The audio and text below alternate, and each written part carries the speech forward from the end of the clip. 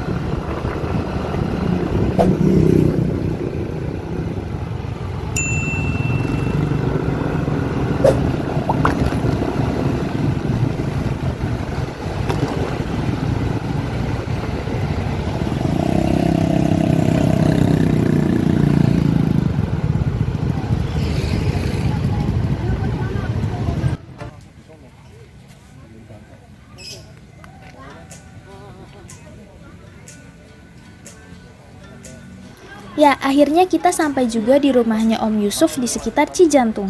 Ini kalau kita lihat motornya, perangkat Rakom yang terpasang di motor tertata dengan cukup rapi. Ini kalau kita lihat menggunakan antena Neptune yang pendek dan untuk perangkat Rakom itu sendiri menggunakan mini rig atau rig mini yang dipasang di depan stang dan ditambah juga dengan alarm untuk kegiatan sosial apabila dibutuhkan. Termasuk dengan lampu-lampu untuk kegiatan touring. Nah, kita ikutin yuk wawancara berikut ini. Oke, ini jadi motornya Om Yusuf ya.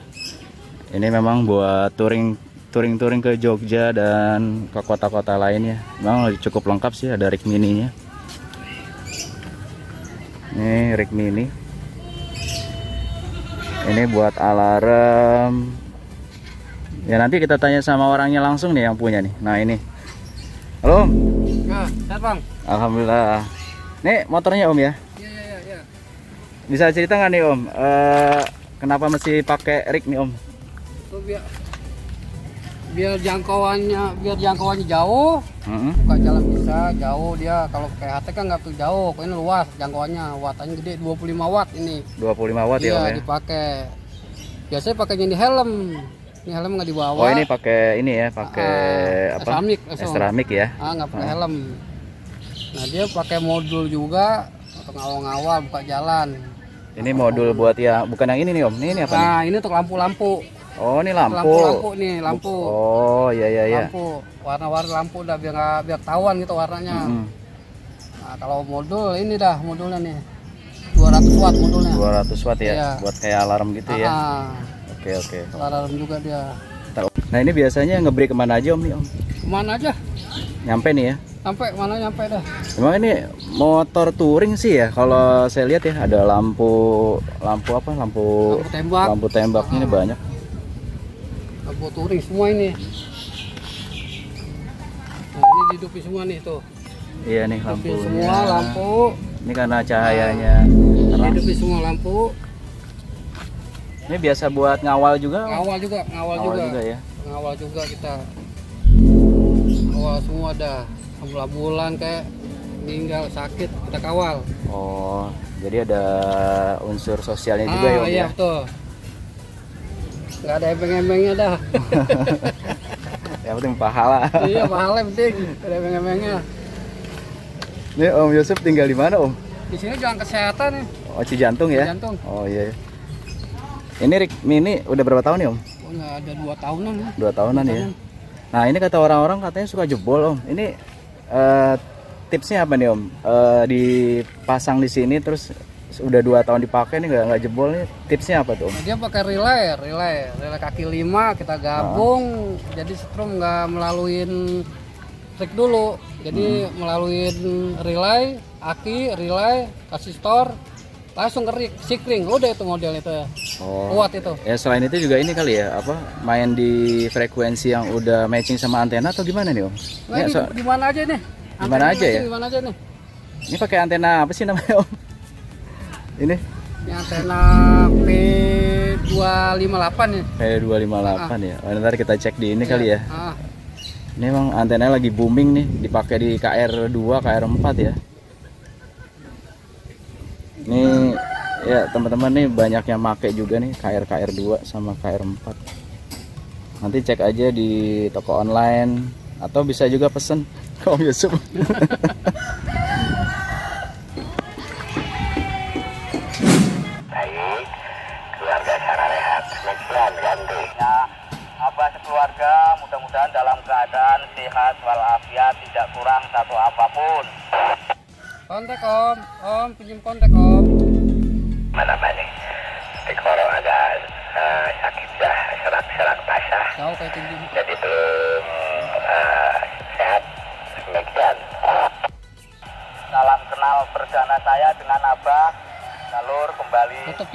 tiban ketiban nih, tiban.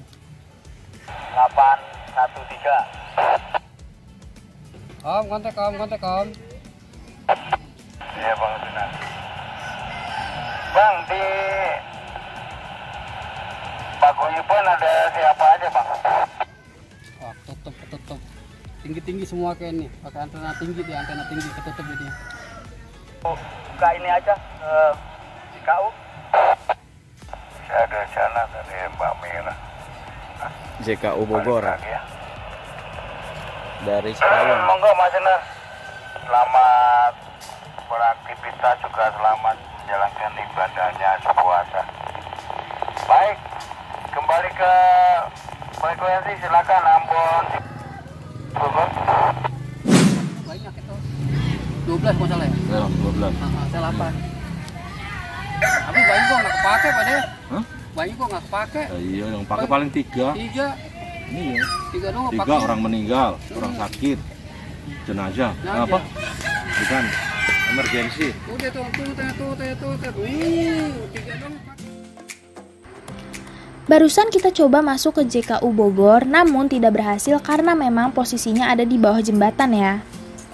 bawaan ya memang ini mesen nih Om besi-besi ini Om Di besi ini bawaan. Nah, yang bawah, yang atas, yang bawah ini mesen. Kita Mesen ya? sendiri, ngeracik sendiri kita. Bawa ke tukang Oh kelas. mesti bawa ke tukang kelas ya Ah, ngeracik sendiri. Kita gambar dulu di rumah. Hmm. Habis gambar kita bawa ke tukang kelas. Nah, kalau gini kan paten tuh. Ini eh, kalau jalan cukup kuat lah ya. Kuat. Hmm. Nah ini instalasi dari sini nih kan harus butuh ke aki nih ya. Iya, ah. Nah ini kelihatan kan ini ada Iya, listrik. Nah ini harus ke aki. Ini eh, akinya nggak tekor ya? Enggak, pakai relay dia. Pakai relay. Jadi memang semua relay taruh di mana Om? Di sini dikumpulin nih. Di bawah situ ya. Iya, dikumpulin. Cukup rumit Ada juga empat ya. relay, empat relay. Ada empat relay. Heeh. Termasuk buat yang Ah, alarm ini, buat horn ini ya. ah, Lampu. Hmm. Iya iya. Antena pakai yang tadi ya. Terus ini eh, biasanya ke mana om? Udah perjalanan yang terakhir ini perjalanan ke mana om? Kemarin Jogja kemarin Ke Jogja berapa Ah. hari om? ada seminggu. Seminggu ya? Ah, niatnya mau ke Bali, nggak bisa kerja. Iya iya. Ini eh, modal ini om. Ini kan eh, harga harga semua apa? Instalasi nih om. Ini kira-kira habis berapa kemarin om?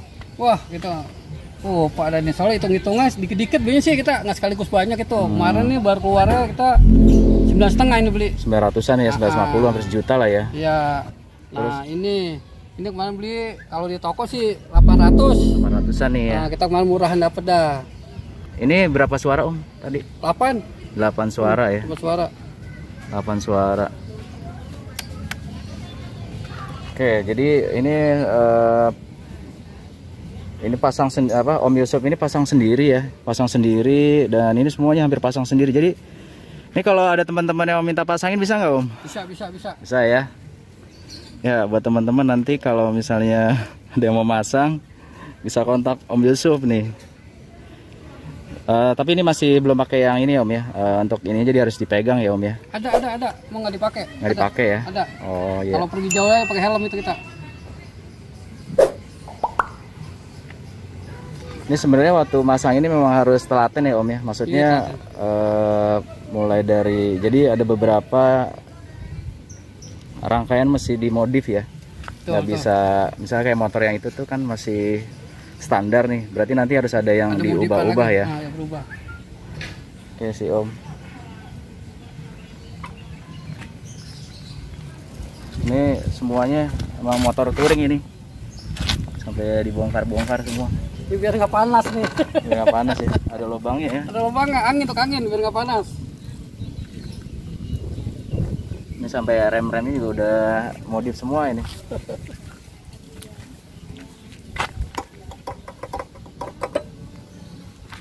Ini tadi apa nih Om namanya? Ini jas hujan, Islamic, atau HT, semua di sini kabel-kabel. Oh, ini Om bergabung di Rapi ini ya. Pasar Rebo ya Om? Iya, lokal 7. Lokal 7 Pasar Rebo. Mau nyobain alarmnya punya Om Yusuf. Bunyinya. Oh, Kecil bisa aja. volumenya bisa dikecilin ya? Bisa. Oh. Lagi. Bisa.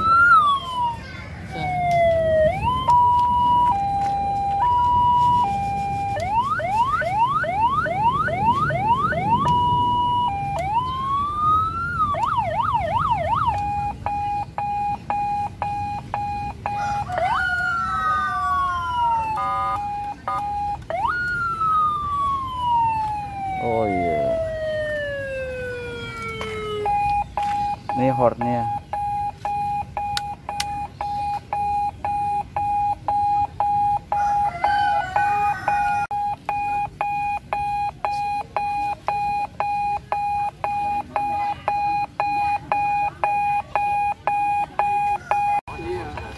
Iya, jadi ini teman-teman kalau hujan nih kalau menurut Om Yusuf ya ini langsung diplastikin, langsung diterpal biar nggak kehujanan. Memang agak riskan aja sih kalau hujan ya, tapi kalau nggak hujan malah bagus karena anginnya buat mendinginkan alat. Berbeda dengan kalau Om Yusuf menggunakan rig eh, untuk jangkauan lebih luas. Nah kalau Pak De Suryo nih lain lagi dia menggunakan HT lebih senang pakai HT. Dan eh, kita lihat motornya Pak De Suryo. Ini Pak De Suryo, ini motornya.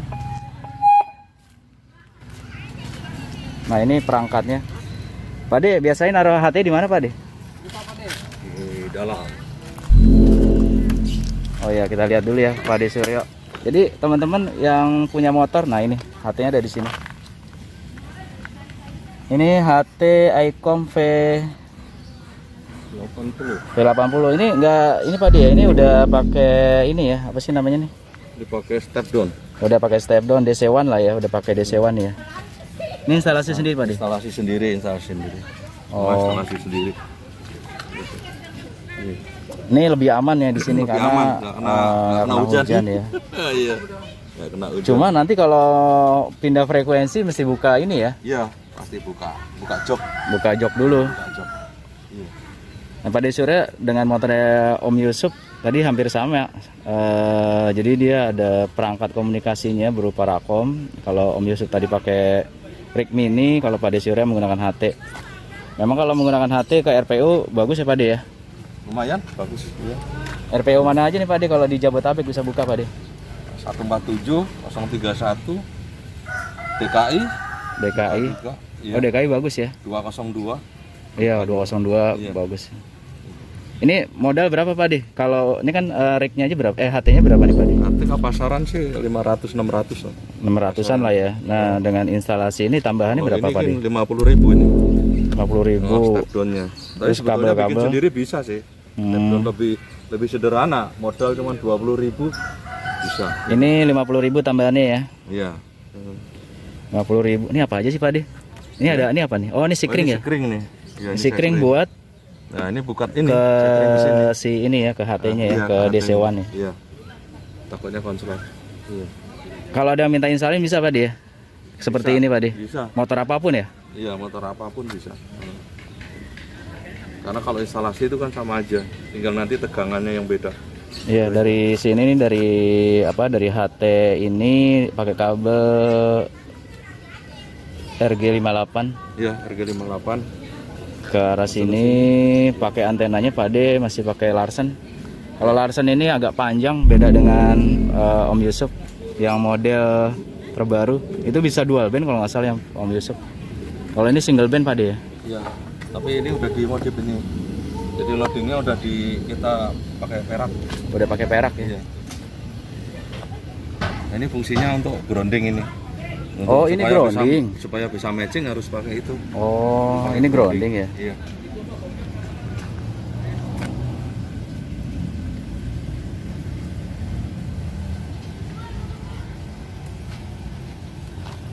Oke ini tadi ya cukup lebih simpel ya lebih simpel kalau pakai HT. Tapi kalau HT Cina gimana Pak deh bisa? Ya? HT Cina kadang-kadang budek. Iya, resipnya kurang ini. Apalagi boveng dipakai- ya. Iya, apalagi pakai antena pakai di motor nih budek biasanya. Iya. Itu pakai antena atasnya budek. Itu. Ya walaupun jelek-jelek mendingan apa Icom apa Alenco gitu apa Yaesu. Yesu ya. Iya. Hmm. Kalau Cina itu kalau untuk di motor sama untuk antena atas biasanya kurang bagus. Kurang bagus ya. bagusnya pakai antena standar. Oke Pak De, kita lihat depan ini. Oh ini eh, untuk extra mic-nya kalau pakai HT eh, wajib pakai extra mic. Ini eh, kebetulan Pak De Surya pakai yang ke helm ya. Ini helm. Jadi ngomongnya langsung di helm. BTT-nya di sini nih. PTT-nya ada di sini. Lumayan instalasinya ya.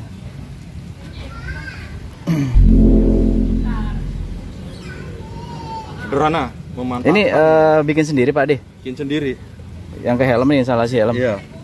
Memanfaatkan barang-barang yang tidak terpakai. Gitu. Dimodifikasi sendiri. Modifikasi sendiri ya. Iya. Tadi sih ke 031 Pak Di Suryo bisa bagus ya di jalan. Pakai extra mix seperti ini nih. Ini sebenarnya kabel ini beli apa bawaan dia apa gimana Pak Di ini? Ini Kabel spiralnya. ini beli ada gitu. Ini beli ada. Kabel sebetulnya nggak mesti harus spiral. Kabel biasa juga bisa. Ya. Jadi kabel-kabel seperti kabel audio itu sebetulnya bisa pakai Hmm. untuk ini. Cuman ini karena kita punya spiral kita manfaatkan spiral. Kan bisa lebih panjang itunya. Nah, lebih panjang melat. Ya lebih simpel ya. Iya.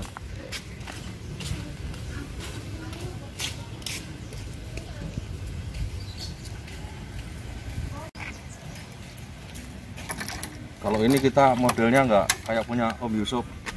Kalau saya ini cukup satu aja saklarnya ini nyala semua. Ini langsung ini untuk lampu-lampunya. Jadi sa begitu motor nyala langsung nyala Pak Di semua ya.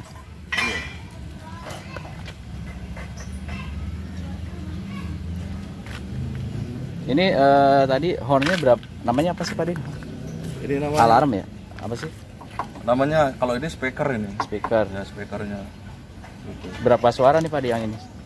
Yang ini Modulnya di 12. mana sih Pak Di? Modulnya? 12, modulnya di dalam. Modulnya ada di sini. Biar aman ditaruh di dalam modulnya. Mana? Oh ini ada lagi. Nih nih. modulnya di sini nih. Nih modulnya di sini. Oh ini modulnya kotak Iya. doang ya. Ini berapa harga Pak Di modulnya? Ya, yang kalau ini mau pasaran sekitar sekitar 200. 200-an ya. Iya. Ya sekarang 300 lah ya. Kisaran ya. Paling mahal dua setengah lah. Dua setengah. Dan ini Yang 12 Dua setengah itu udah stereo. udah stereo ya. Oh, tun, double tune. ya. Ini kalau kita mau coba nih karena nggak bisa diatur volumenya. Ini nggak bisa diatur volume Pak De. Enggak, enggak bisa. Ini suaranya bisa terlalu kencang ganggu ini, ganggu orang yang ada di sekitar sini nih.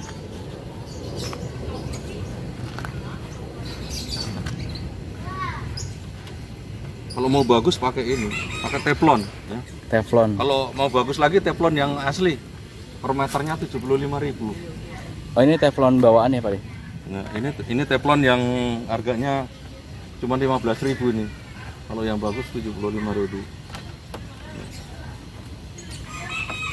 Buat ke antena Pak De maksudnya. Iya, ini dari radio ini dari sini Heeh. masuk ke dalam sini ke sini ke radio. Oh gitu. Kalau ya. pasang ini jangan sampai digulung ini nggak nggak boleh ini. digulung ya. Harus diputer. Gitu. Diputer. Digulung itu ya? lagi. Nggak boleh diputer begini. Mending dipotong kali ya Pak De. Ya dipotong tapi harus dapat ya harus ngemet gitu. Harus ngemet ya? pakai di damilut kalau enggak nanti enggak ini enggak enggak bisa matching ke itu. Harus kabel damilet ya. Heeh. Ini kabel yang DC1 ke aki nih ya. Aki ada di bawah. ya. Kaki bawah. Nah ini motor Shogun tahun 9 2004 ya masih dipakai buat touring sama Pak Ade Suryo. Lebih simpel sih penggunaannya. Ya sebenarnya sama sih kalau yang rig rig mini itu harus fix Kalau hujan ya memang agak repot, terutama parkir ya. Terutama parkir itu agak repot. Ini suaranya nggak bisa kita tes di sini, kita tadi ya takut ganggu. Nih kalau Pak De sendiri nih eh, selama ngebreak nih Pak De, paling sering di mana Pak De? Kalau pakai motor? Apa cuma buat touring aja Pak De? Ya, buat jalan aja, buat turun. Buat touring aja ya. Teman-teman ya. Sukabumi, Puncak. Eh, karena Pak De gabung di ini juga ya, di Rapi Rider ya Pak De. Iya.